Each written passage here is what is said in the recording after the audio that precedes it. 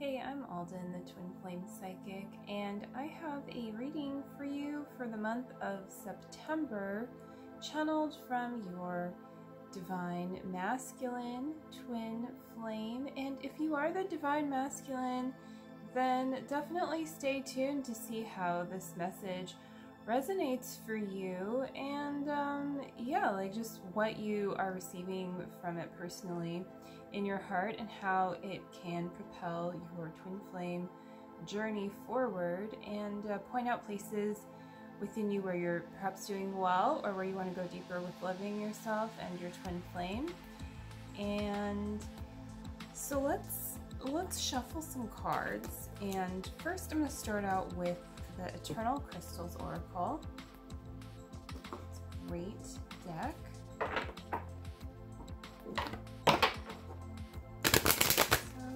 Shuffle these cards and see what the first message is. Alright, so let's cut the cards first. You know, make sure they're extra shuffly and cut. So the first card is Honesty, um, Seraphinite, Heart and Third Eye Chakra, okay?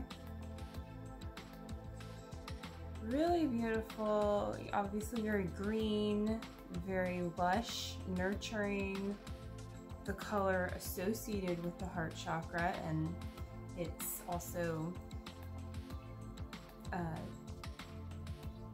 depicted as um, that here, but also the third eye. And uh, so it's, and it's kind of got this like line going through it in this particular depiction. So what that's really saying here is to have honesty be a clear channel. And so your divine masculine is developing a clearer channel to receive and to also be honest and in that honesty in uh, his heart, in both your hearts, you're choosing as one uh, partnership, which means that, you know, he no longer desires uh, inequality in your union, in your relationship. And so there's a rebalancing in his heart going on. And since you and your twin flame are one consciousness, if you're the divine feminine, watching this, that means you're also in somewhere uh, choosing this if you are on your healing twin flame journey, on your ascension uh, path, basically with your twin flame, whether you're in physical union or in separation or anywhere in between, you can harmonize your union and you can totally check out the links below to help you with that. You can schedule a discovery session with me and um, if you need to look at some stuff first to get clear, then check out those other links too, all right? And uh, yeah, so honesty, I mean, what does honesty really mean? Well, honesty, true honesty is going to build trust and it's going to be the truth, the core truth, not just like, oh, your truth versus my truth, right? Or whoever's truth, your mom's truth. Um, it's the one truth. And sometimes to get clear on that truth, you have to uh, root out what isn't true by exploring it. If you are called to, that's, you know, where we're at right now with consciousness, right? We're not like really in a place where uh, some things are completely clear yet. And so it's okay to be a pioneer in those places if you feel called to and know that you're making it easier for everyone else to uh, choose to be with their twin flame as well if they want to. And um, so the honesty here doesn't mean that necessarily uh, it's always been what seems to be honest, either emotionally or like literally, you know. Uh, but you gotta forgive your divine masculine if he's ever lied to you. It doesn't mean, oh, I forgive you, you know, like let's just pretend it never happened. I mean, if you've gotten to that place, yeah, like you don't need to hold grudges, you never need to hold guilt. But it's also okay to have boundaries and for uh, anyone, including your twin flame, to really, you know, earn your respect, earn your trust. um, that is something that is earned and that's okay but you got to give someone the chance to be able to earn it right and so if you if your heart is so I'm just like huh, I don't know if you can hear that but a noise um anyways so if uh, but if your heart is so closed off that like it feels like that right then um, you're not really able to give someone the opportunity even if you think you are, you're probably blocking that somewhere. So be honest with yourself with where you're blocking, perhaps. Uh, the incoming honesty from your divine masculine about how he is feeling. So let's pull another crystal card. The second one is going to be Unakite, live in the present, another heart chakra and this is specific to just the heart chakra. The other one was also uh, talking about the third eye. And I would say like there was some crown energy too, just this alignment energy for the chakra system. And um, so this is really about, yeah, like you, if you want to harmonize your union, you do need to live in the present. You cannot hold on to what has happened in the past, good and or bad. It's not where you're vibing right now. There are certain things about your past that are eternal, that are true. There's certain vibrations that you felt before that don't leave. And when I say vibrations, like, you know, those memories, the nostalgia that you feel, the good times, so to speak, they never really leave you, but you can kind of separate yourself from that feeling by attaching it to something specific that you don't have right now, like an event or a person or both. Whatever it is, money that, you know, looks you're like different how you're making it than it was then and something about that oh it felt terrible but oh but i felt so good about this one part of it so you know what does that mean? Well if you start to overanalyze or you start to attach uh, like one little piece of something that felt good to the whole thing, you can almost find yourself like running back towards that comfort zone, which is the old vortex trying to take you back. It doesn't mean that uh, you can't go deeper with your expertise, your experiences of what you've done before. Like maybe you had a beautiful trip somewhere and you want to go back. You're not going to try to like recreate that trip, right? But maybe there are certain things about it that you really desire to go back to a certain place or something. And as long as you're releasing expectations and living in the present, that's going to help open up your heart chakra. So it's um, it's just about not uh, not getting stuck, you know, not getting stagnant. You got to go with the flow and choosing to ascend. Choosing to ascend is a big one. So um, yeah, I mean, the divine masculine is really saying, like, hey, heart chakra, and hey, this is what I'm healing too, and this is what I invite you into. And this is nature heart chakra. So, this is really like an invitation to romance yourself with the natural world, with grounding. And uh, the divine masculine is thinking about his divine feminine, is feeling his divine feminine, when he's in nature. And that does mean his true twin flame, you know, whether uh, it looks like he's with someone else or uh, in any form of separation. The truth is that you're designed to be together, and so that real divine romance that you sometimes feel, at least I feel, you know, in nature. I don't know if you ever feel that too, right? Like with flowers or trees or whatever in a lake, you know. Uh, but yeah, like you're you're uh, gonna feel that in your heart with your twin flame, and it's safe to feel that. And this is saying like you gotta uh, surrender more to allowing your twin flame to really experience the fullness of his feelings and know that those feelings are in truth not um, not separate from the love that he has for you deep in his heart. And this is going to help create room because he desires to also express it naturally, is what I'm receiving from this card as well. So, uh, just nature isn't just about being in nature, it's also about being your natural self. I don't know. I guess my hair is looking natural. I don't know why I did that. So, yeah, keep that in mind.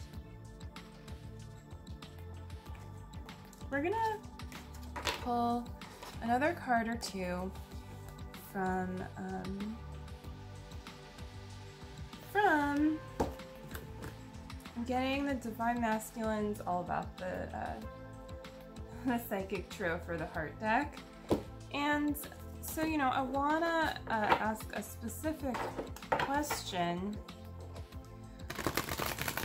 for the Divine Feminine right now, which is just like, well, how is my September looking? Like, what is it that is going on between us in September, okay?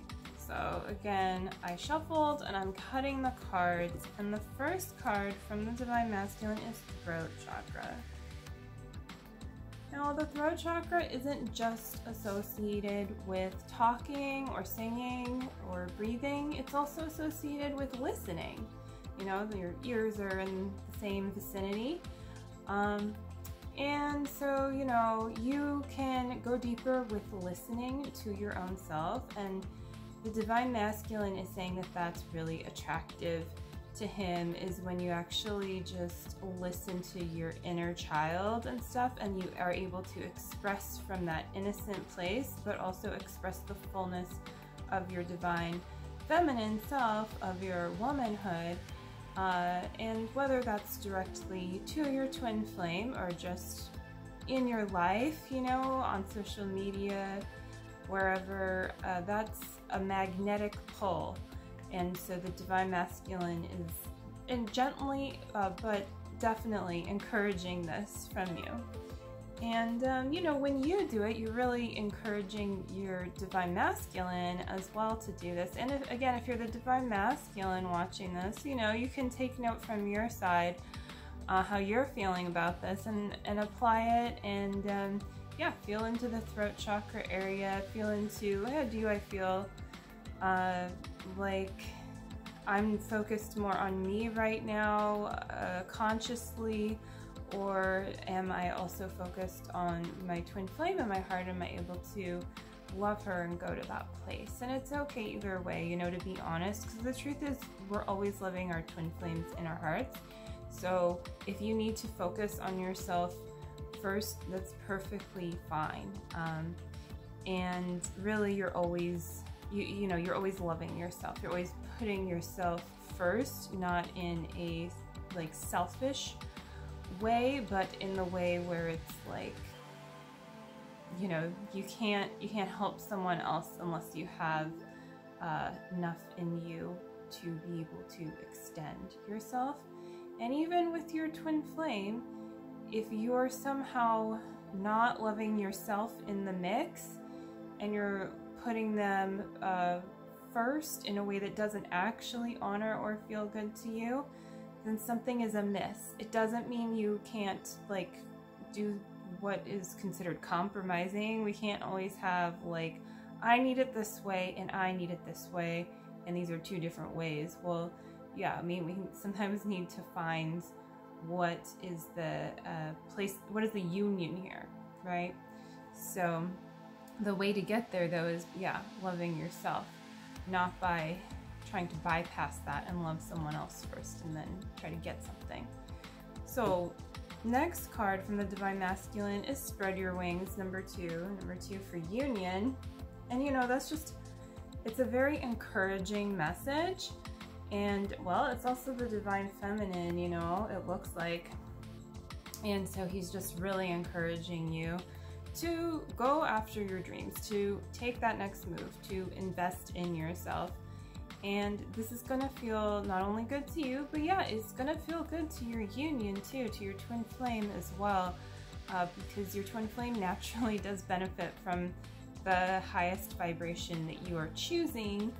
And so when you're choosing union at your core and then you're making choices that reinforce that, that's very powerful and magnetic and it also uh, encourages him to support you in continuing to do that, which would involve spreading your wings. And when you spread your wings, you know, as uh, Jeff and Shaleia, twin flame spiritual teachers, my spiritual teachers say like it's like two wings on one bird, you and your twin flame. So what the divine masculine is really saying too, like it's encouraging your your union, but through you being your full self and him being attracted to that, not by you trying to attract him.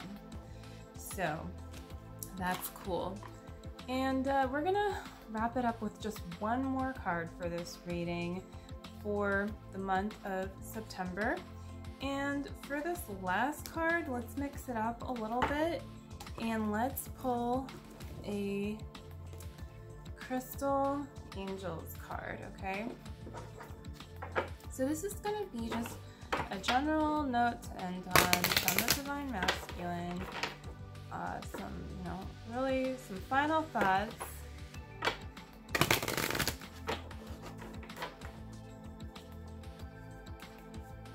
From his highest and that is stress reduction. De-stress your mind, body, and schedule as you need to rest, recharge, and revive. Watermelon tourmaline. And you can see how it's both the divine masculine and the divine feminine here.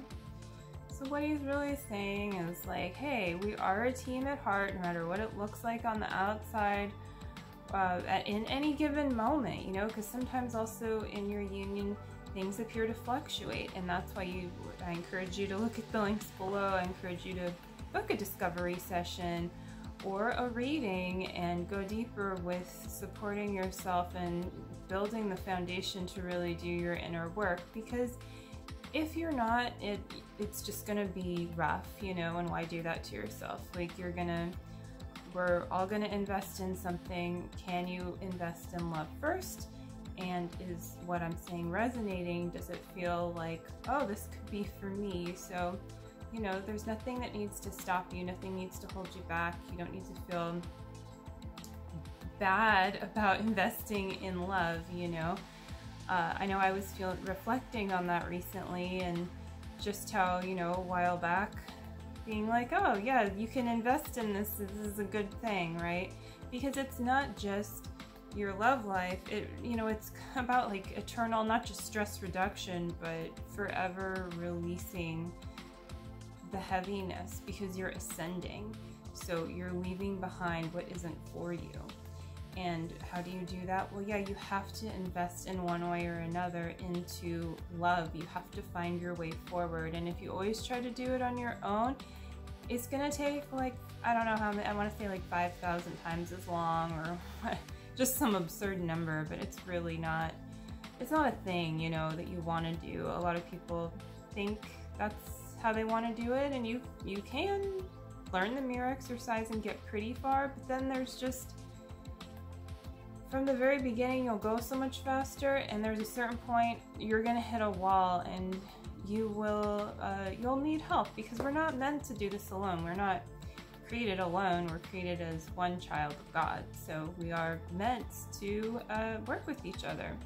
So that is safe to uh, just claim your support basically, but also to like feel into what truly feels good to you. Yeah, it takes work like anything else, like going to the gym or something, but are you willing to do that? Are you willing to give up an hour of your time for your eternal good? And for like literally changing your life, including your life purpose, including your twin flame union, like this card depicts, right? And so the divine masculine is encouraging you to reduce stress, but also to put your energy then into the love life, into this life of love, uh, because no one's going to do it for you, and your divine masculine doesn't need to do it for you either. And uh, so yeah, he's also just encouraging you to relax and to surrender is what I really get. And that's the message we're gonna end on, is really for you to surrender into what you find most blissful and know that that is for you and to take just one step forward, uh, just one step forward and feel how good that feels. And so remember that throughout the month of September to relax and surrender and everything else we went over. And you're gonna do really well. It's gonna be a beautiful month. And so yeah, I hope you enjoyed this reading and get in touch with me or comment below if you have any thoughts or questions and I will catch you later. Take care. Bye.